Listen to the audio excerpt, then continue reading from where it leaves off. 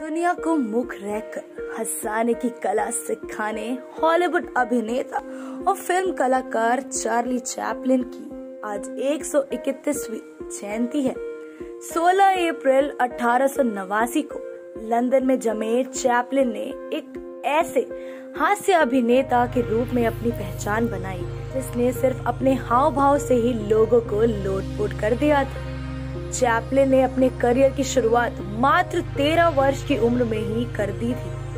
पचहत्तर वर्ष के अपने करियर में उन्होंने अभिनेता, निर्देशक, निर्माता, लेखक से लेकर संगीतकार की भूमिका को बखूबी निभाया।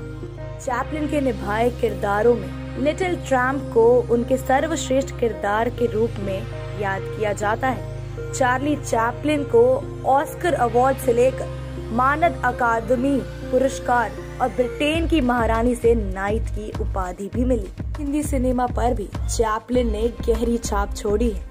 हिंदी सिनेमा के कई कलाकारों ने चार्ली चैपलिन के अभिनय को अपनी प्रेरणा बनाई। राज कपूर, श्रीदेवी, अशरानी और रणबीर कपूर। तो चलिए, करते हैं ऐसे कलाकार को सलाम और उनको विश करते हैं। Happy birthday Charlie Chaplin. इसी तरह की और वीडियोस के लिए जुड़े रहे हमारे साथ समाचार नगरी में।